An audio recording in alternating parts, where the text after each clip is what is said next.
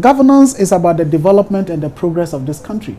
So if in the whole process of seeking to govern this country, what you do is to sow seeds of division. What you do is to pitch one ethnic group against the other.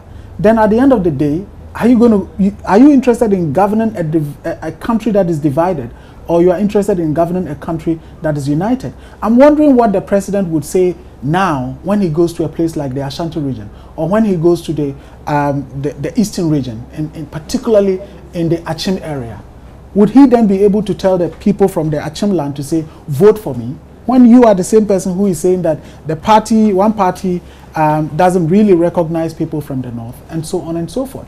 I am a Northerner, and I feel ashamed by that because I, I first see myself as a Ghanaian, and what I want is a country that is progressing, it's a country that is developing, and a country that creates opportunities for all.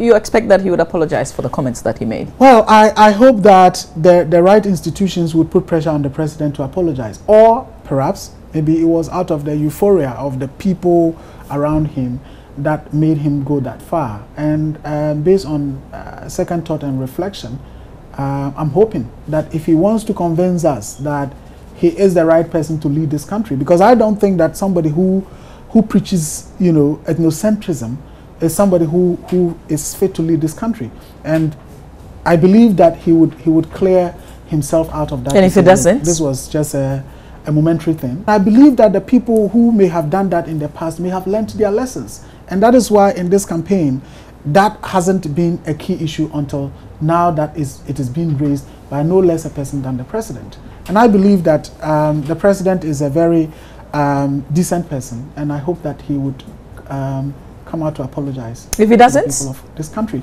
Well, if he doesn't, people can form their own opinions about him um, and whether or not he is the right person to lead this country. Mm.